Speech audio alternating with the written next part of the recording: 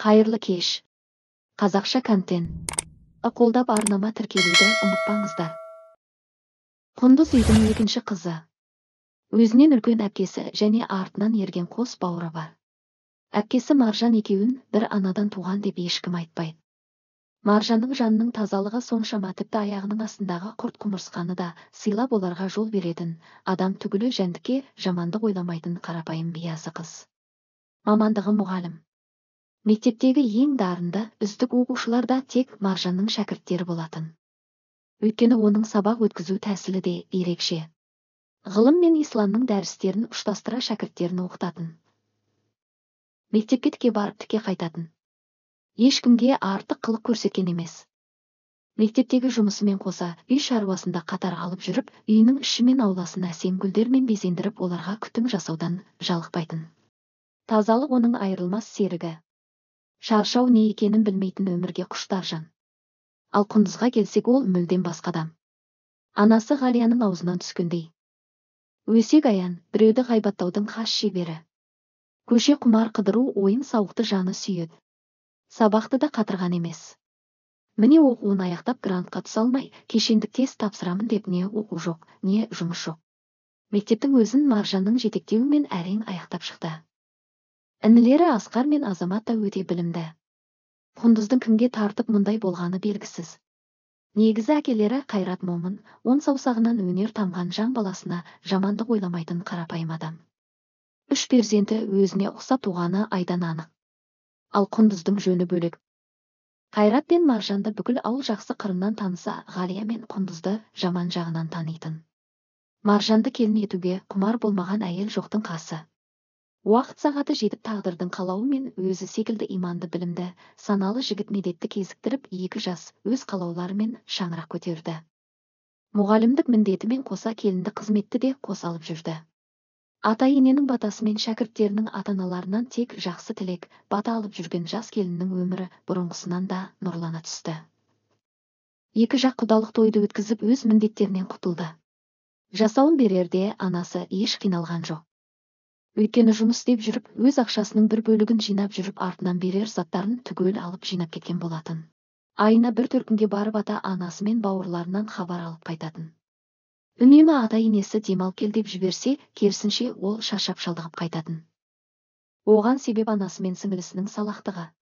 Үйін түгел шаң тозаңын сүртіп тазалап жүдеп кеткен әкесі мен бауырларына түрлі ас пен тәттілерін пісіріп бір тойғызып қайтатын.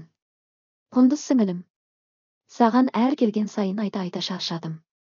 Үйге кішкене көкіл бөлсең қайтеді жас емессің ғой. Қолың бос жұмысқа бармайсың. Таңнан кешке дейін үйдесің. Не істейсің айтшы маған. Ойнаймын болды ма? Сенің енді өз үйің бар емес пе? Сонда білгеніңді жасай берші. Біздің үйде нең бар? Тыныш келіп тыныш кете берсең болмай ма? Құндыз олай жасама үйтпе бүйтпе ананы жаса мынаны жаса. Уф шаршатып жібердің бар ғой. Жаным мен саған жамандық тілейді дейсің бе? Ертең сен де келін боласың. Мына түріңмен ешқайда сыймайсың. Тағы бастадың ба? Келдің көрдің баршы енді. Мейлі өз өмірің өз еркің. Өзің біл. Сен мені өзіңе жау санасаң да өзің біл. Ал мен тек саған жақсылық тілеймін. Қазір жезден келеді. Мына гүлдердің бәрін алып кетпесем сендерден қайран жоқ. Көбісі сол бөлуге шақ қалыпты. Қалағаныңды ала бер. Алда жөніңе кетші. Ай сіңілім ай. Қазір ашуланасың ау. Ертең келін болғанда жылап тұрып қоңырау шалып ақыл сұрайсың ғой әлі. Бәрін уақыты келгенде көреміз әпкетай. Маржан сіңілісіне өкпелегісі келсе де өкпелей алмайтын. Құндыздың болашағы үшін қатты алаңдайтын. Маржан гүлдерін алып кетіп үйдің іші қаңырап босап қалғандай болды. Қайрат бұл жайтты естіп көріп қуанып қалды. Сүйікті қызы маржаннан қалған естеліктер көз алдында солып жатқанына іші қынжылатын. Ал ғалия болса аздап ашуланып қалды. Ақымақ қыз. Ата енесіне жағымпазданып үйдегі бүкіл затты тасып бітетін болды. Тағы немізді алып кетер екен. Бір күні мына үйдің іші қаңырап бос қалса керек. Қайрат алғашында үндемей отырғанмен қатының сөздеріне шыдай алмай ашуға бой алдырды. Ғалия жетер енді сендердің ол гүлдерге иелік етуге қандай құқықтарың бар? Ол гүлдердің әрқайсысын маржан өзі отырғызып өзі күтіп баптап өсірді. Енді не істеуі керек еді? Көз алдында бәрі солып бара жатса. Сендерден әр келгенде өтініп сұрайды қарашы деп. Ал сендер бір рет болсын су құюға жарамайсыңдар. Мен не ерігіп жүрмін бе? Жұмыстан шаршап өлейін деп өз ас суымда әзер ішіп жүрген жоқпын ба? Ал ана қызың ше? Ол не бітіріп жатыр? Қашан қарасаң қолынан телефон түспейді. Не сабақ оқып жарытпайды? Айттым саған оқуға түспей телефон алып бермейді деп. Маржан қашан өзі жұмыс істегенше телефон ұстамай ақ жүрген жоқ па? Ту әке жетер енді. Не болса маржан ондай маржан бұндай маржан өйтпейді маржан бүйтпейді деп әбден мезеттіңіз. Мені жақсы көретін еркелететін кезіңіз болады ма? Жоқ әлде мені асырап алдыңыз ба? Құндыз не құндыз не? Сендерден шаршадым әбден. Құндыз айқайлап жылап бөлмесіне кіріп кетті. Ғалия мен қайрат осы қыздың кесірінен біраз айқайласты. Ғалия келіп қызының басынан сипап жұбатуға тырыспақ болған бірақ қызы есікті аша қоймады. Құндыз үнемі өз қателігін байқамай өзгелерді айыптауға асығатын. Бұл жолы да әкесін жек көріп өз әкесіне біраз тіл тигізді. Осы үйден құтылмақ болып тұрмысқа шығуға бел буды. Өзі сөйлесіп жүрген жігіті нұрланға алсаң бүгін ал алмасаң менен мәңгіге айырыласың деп шарт қойды. Құндызды кемшілігіне мінезіне қарамай шын сүйетін жігіт сүйіктісінен айырылып қалмау үшін үй ішін дүрліктіріп бәрі зыр жүгіре бір күнде үйленуге дайын болды. Нұрлан жолдастарымен сол күні қызды алып кетуге келді. Құндыз үй ішіне өкпелеп өз үйінен өзі қашып шықты. Құндыз асығыс шешім қабылдап өзінің қазіргісінен де күрделі қиыншылығы мол өмірге қадам басқалы жатқанынан хабарсыз еді. Әлі де жолы болып ішпейтін шекпейтін әйел затын құрметтей білетін ер азаматтың жары сабырлы. Екен. Қайнысы нұрлан үйленеді дегенді естігенде ең алғаш бәрінен де қатты қуанған жанның бірі жеңгесі әсем болатын. Маған сырлас құрбы сіңілі көмекші болады деген ойда болатын. Түн ауып ауылды шулатып қызды алып келді. Үлкендер ақ орамалын жауып ақ босағадан аттатып шымылдыққа кіргізіп қыздан тілхат алып әке шешесіне естірту мақсатында қалың малын беріп хабаршы жіберді. Түн ортасы әке шешесі де құндыздың үйде жоқ екенін байқап телефоны сөндірулі болған соң алаңдап отырған болатын. Есік қағылып сырттан ер адамның дауысын естігенде зәре құттары қалмады. Есікті ашқан қайрат мән жайды білген соң әлгі екеуін ішке кіргізді. Қыз бергеннің назы бар демекші дөрекі мінез көрсетіп біраз ашуланып арасында тіпті айқайлап та алды. Ақыры келе болар іс болған соң келісім беріп ризашылығын білдіріп қонақтарға дәм тұзын ұсынып шығарып салды. Қонақтар кеткен соң әйелінің жағасынан алды. Біліп едім осылай боларын ал не болды соңы қызыңды әбден еркелетіп бетімен жіберіп құрттың не оқыған жоқ? Не қолынан үйдің шаруасы келмейді. Түске дейін ұйықтайды. Қандай келін болады екен? Менің қызым ақылды бәрін де үйреніп алады. Оны уақыт көрсетер. Алдымен туыстарға хабар бер. Артынан ертең кім қуғыншы болып барарын шешейік. Ғалия абысын келіндерін түгел жинап алды. Қайраттың қарындасы жанар келіні гүлзира інісі марат қуып баруға дайындыққа кірісіп кетті. Әйелдер көйлек іздеп сұлулық салонын жағалап жүрсе марат қалай сөйлеп қалай жүріп тұрарын тізбектеп бірнеше рет репетиция жасап көрді. Бәрі мәз мейрам ал нұрланның анасы мариям ата сатасын түгелдеп етін дайындап қызу дайындыққа кірісті. Мариямның келіндері бауырсағын етін тағы басқасын пісіріп тойдың боларынан болатысы қызық дегендей қайны жеңгелердің әзілдері жарасып ойнап күліп шулап жүр. Әсем жеңгесі бар күш жігерін жұмсап мәз болып шапқылап жүр. Құндыз болса ақ орамалды жамылып сызылып отыр. Беташар той әні міне дегенше өте шығып артынан қуғыншылар келіп оларды да сый құрметпен күтіп шығарып салды. Молда келіп шариғат бойынша екі жастың некесін қиып берді. Бәрі шаршап шалдығып жатып қалды. Ал екі жас түнгі ұйқыға таңға жуық бір ақ жатты.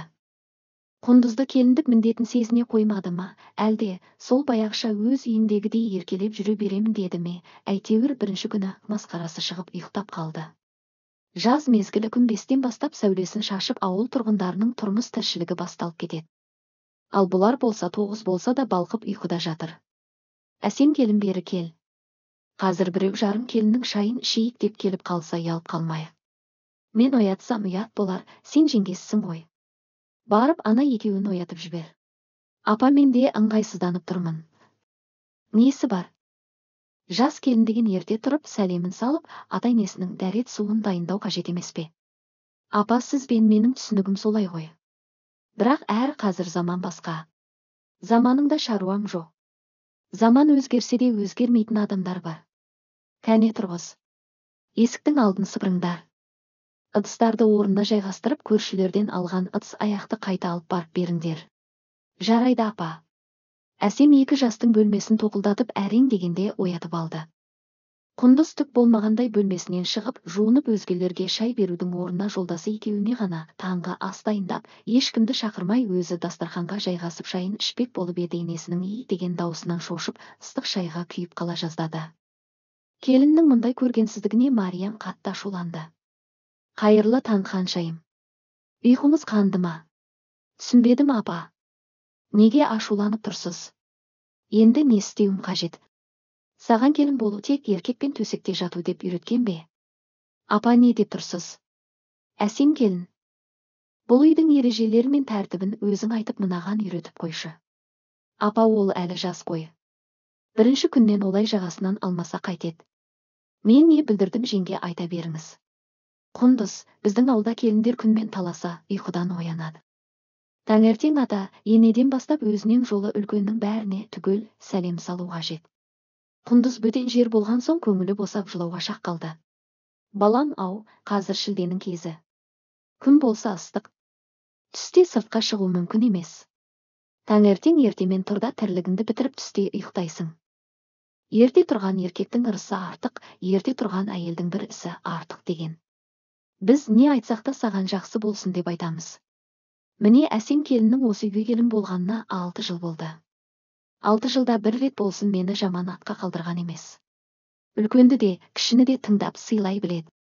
Біреудің айтқан ақылын тыңдай білу тәрбиеліктің белгісі. Айналаңдағы адамдардың пікірін тыңдап санаса білсең ғана білмегеніңнен білгенің көп болады. Өзгенің сөзін менсінбеу өзімшілдік адамзаттың қас жауы. Кім сөйлесе де үндемей тыңдап қажет жерін есіңде сақтауға тырыс. Жеңгеңнен үлгі алуға тырыс.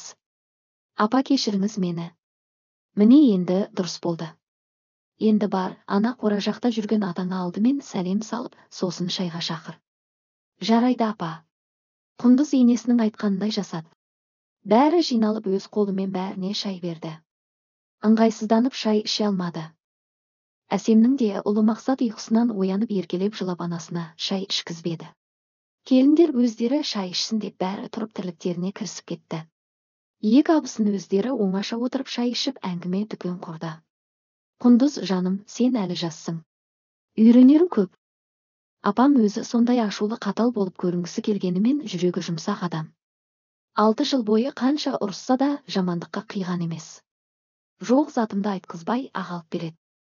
Екі қызға да осы күнге дейін маған қарсы ауыз ашқызған емес. Тіфәй тіфәй қыздардың да бір жаман мінездері жоқ. Жеңге жеңге деп үнемі сыйлап келеді арамызда осы күнге дейін ұрыс керіс болған емес. Екеуін де сіңілімдей көремін. Бикеш тұрмыста. Үйлі жайлы. Кішкентай қырғынан шықпаған соң беташар тойға келе алмады. Бірер айда қыдырып келіп қалар. Ерке қыз студент. Оқуына барады келеді сонымен әуре. Атам мен біздің үйдегі қайна ағаңның ауыздарынан артық сөз шықпайды. Сұрақ қойып сұраққа әрең жауап аламыз. Ал қайнымның мінезін өзің жақсы білерсің. Енді бұл сенің де үйің. Емін еркін қысылмай жүре бер. Бір нәрсе қажет болса қиналсаң маған айт. Өзім бәрін үйретемін. Абысын тату болса ас көп деген. Осы үйдің берекелі мерекелі болуы екеумізге байланысты. Біз тату болсақ осы әулет мына екі ағайынды тату болады әпкелі сіңілі болып сырлас мұңдас болып жүрейік. Айтқандай менің нұрасыл балам кішкене еркелеу. Әбден күттіріп төрт жыл дегенде дүниеге келген. Ата апасы әкесі аға әпкелері әбден еркелетіп жіберген. Кішкене бұзықтығы бар. Көңіліңе тиер іс жасап жатса ренжімеші өтініш. Өсе келе есі кірер деп үміттенемін. Рахмет жеңге. Құндыз абысынның сөздеріне мән бергендей сыңай танып күлімсірегенмен іштей сол баяғы әдеті өзім білем деп отыра берді.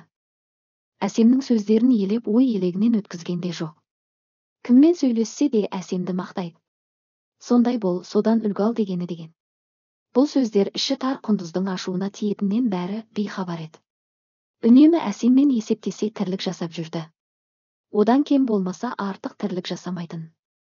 Нұрлан өзі сондай балажанды болатын. Нұрасылдан ештеңесін аямай күнде кешкісін пакетін көтеріп дүкендегі бар тәттіні көтеріп келетін. Көлігіне мінгізіп ауыл ішін бір аралатып сосын ғана шай тамағын ішетін. Ал бұл жағдай құндызға мүлде ұнаған емес.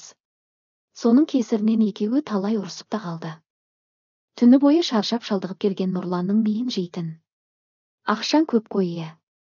Нең бар соншама зат әкеліп? Әкелсем не болыпты? Бала емес пе? Жесін ішсін.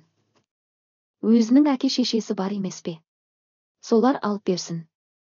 Жаным маған ешкім сен әкел деп міндет артып қойған жоқ. Өзім солай қалағандықтан жасап жүрмін. Одан да сол ақшаны маған берсең болмайды ма? Құндыз беріп жатырмын ғой саған да ана ағаңа қарашы жетеленді. Әбден мезі еттің. Ағаң апаң жеңгең деп. Менің отбасы мүшелерім жайлы бір ауыз жаман сөз айтар болсаң не істейсің? Ұрасың ба? Ұр кәне құндыз мені мәжбүр етпе ұр деймін кәне. Нұрлан ашуға бұлықты. Бұл жағдай алғашқы рет емес еді. Үнемі өзін ұстай алатын жігіт бұл жолы ашумен әйелінің жағынан салып жіберді. Құндыз дереу киімдерін киіп кетемінге салды. Қайда барасың? Үйіме кетемін. Өзің ғой мені осыған мәжбүр еткен. Неге мені түсіне алмайсың?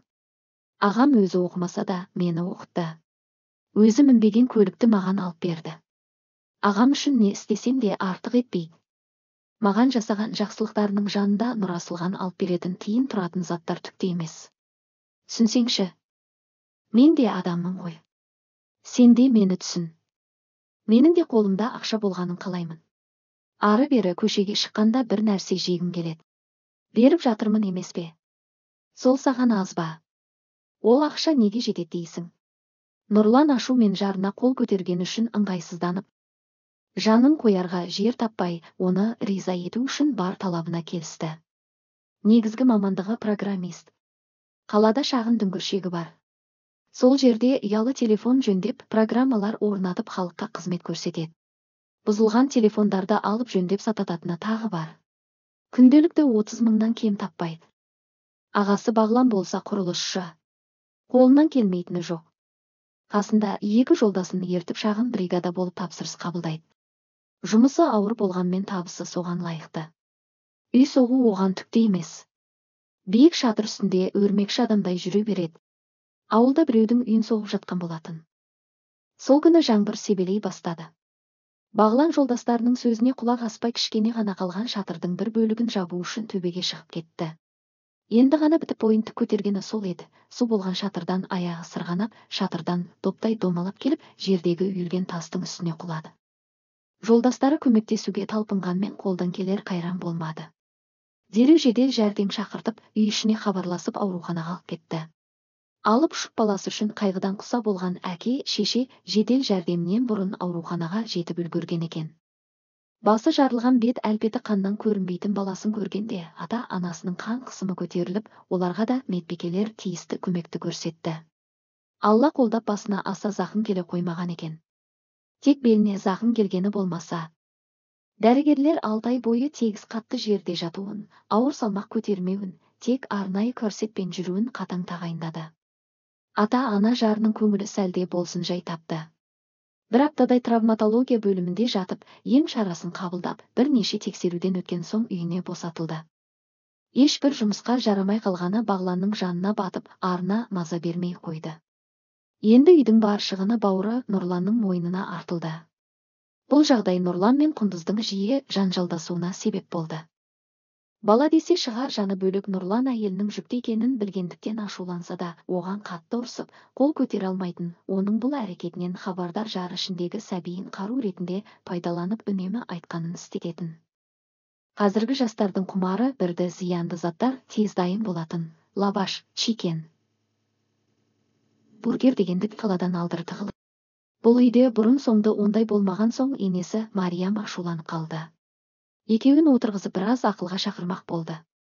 Балам ау сенің мұның не? Бұрын соңды мұндайың жоқ еді. Мейлі түсінемін жарың екі қабат жегісі келер. Бірақ осылай тығылып жеу керек пе? Өлі жегенше бөле же деген. Бәрінің тесік тамағы бар. Иісі бұрқырап тұрған соң бәрінің жегісі келеді. Әкелсең бәріне әкел. Бәріне әкелетіндей нұрланның ақшасы көп дейсіз бе? Онсыз да бүкіл азық түлікті тасып газ су жарығыңыздың ақшасын төлеп отырған жоқ па? Мен ұлыммен сөйлесіп отырмын. Сен араласпа неге араласпайды екенмін? Бір өзі қаншама адамды асырап отырғанын біле тұра ұрсуға қандай ақыңыз бар? Құндыз жап аузыңды. Ашуыма тиме? Мен саған бұл тақырыпты қозғама дегенмін. Мен айтсам шындықты айтып отырмын. Қайнағаның жатқанына екі айдан асты. Оның дәрісін әкелсе нұрлан жақсы. Ерке баланың бала бақшасының ақысын төлесе нұрлан жақсы. Азық түлік алып келсе нұрлан жақсы болады бір әйелінің жерік асын алып берсе нұрлан жаман бола қала ма? Бұл сөздерді көрші бөлмеде естіп жатқан бағлан шыдай алмай орнынан әрең тұрып сыртқа шығып кетті. Нұрлан ашуға бұлыққаны соншама ақылынан айырылып әйелін жатын бөлмесіне сүйреп алып барып ішке итеріп жіберді. Дереу киімдеріңді жина. Үйіңе кетесің. Қит етсе кетемін деуші едің ал кәне жинал өзім ақ сені жеткізіп тастаймын. Бір балам сыртта өссе өсер де қайтейін. Кәне жинал кетесің балам қой олай жасама. Мен тек жоқ апа сіздің еш кінәңіз жоқ. Әбден мезі болдым бұл қатыннан шаршатып жіберді. Күніге осы. Қой қайтесің ақылға келер бір күні апа бұған туыстық қатынас сыйластық махаббат маңызды емес. Құндыз бұл үйден кете алмас еді. Өйткені нұрлан қызба мінез болғанмен ырқына көніп дегенімен жүруші еді. Осы сәтте қулыққа көшіп ішін ұстап жерге екі бүктеле жата қалды. Ішім ішім ай. Әй келін не болды? Апа ішім бүріп ауырып барады. Нұрлан дереу жедел жәрдем шақыр. Нұрлан әйелінің құрсағындағы өз қанынан жаратылған сәби үшін алаңдап әбіргерге түсті. Мұны көрген қу қатын одан бетер байбалам салып шыңғыра жөнелді. Әсемде жүгіріп келіп келінін жұбатуға тырысты. Жаным қорықпа. Саған да балаңа да ештеңе болмайды. Алла қаласа бәрі жақсы болады. Жылама қайным кәне көтеріп төсекке жатқызайық. Аяғын жоғары көтеріп жатсын. Нұрлан жақындаған сәтте оны бұл ісіне өкіндіру өзіне бағындыру мақсатында одан әрі рөліне кірісіп шу шығарды. Қолына ұстап тұрған енесінің қолын да сілкілеп итеріп жіберді. Жоғал маған жақындаушы болма. Осы ма еді апа қалағаныңыз? Бір тамақты менен қызғанып шу шығарып балаңызға ұрысқызып жаныңыз рахаттанып қалды ма? Сендерді жек көремін. Жоламаңдар маған. Осыдан сәбиіме бірдеңе болса сендерді ешқашан кешірмеймін. Келін олай ашулансаң жағдайың ауырласа береді. Болды ашуланба. Жеңге маған бөлмеме жетуге көмектесіп жіберші. Әсемге сүйеніп бөлмесіне жетіп ішке ешкімді кіргізбей өз ісіне ұялудың орнына бәрін ақымақ еткені үшін аузын жауып айызын қандырып рахаттана күліп алды. Әңгіменің жалғасын тыңдау үшін төмендегі сілтемеге өтіңіздер. Қазақша контентті қолдап арнама тіркелуді ұмытпаңыздар. Және де менің каналыма кірген кезде осы жерде плейсти деген бөлім бар. Осы плейсти бөлімінде өздеріңізге қызықты жаңағы ақпараттарды ала аласыздар. Мысалы қазақша әңгімелер жинағы бар аудиокітаптар бар нақыл сөздер бар қызықты мәліметтер үйлеріңізге қажетті пайдалы кеңестер бар қазақша рецепттер қолөнер бар. Осы жерге кіріп өзіңізге қызықты ақпараттарды ала аласыздар. Мысалы қазақша әңгімелер аудиокітаптарды тыңдағыңыз келсе осы жерге кіріп осылай өзіңізге ұнаған өзіңіздің жасыңызға сай әңгімелерді тыңдай аласыздар. Барлығы өмірден алынған болған оқиғалар. Сондықтан менің каналыма тіркеліп қазақша контентті қолдап отырыңыздар. Жүз мың оқырманға жетейік.